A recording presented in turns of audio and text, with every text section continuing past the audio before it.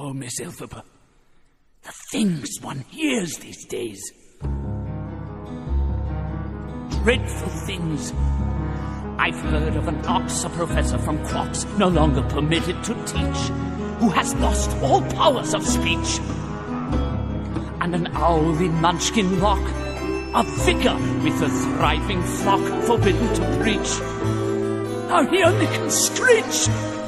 Only rumors, but still enough to give pause to anyone with paws. Something bad is happening in Oz.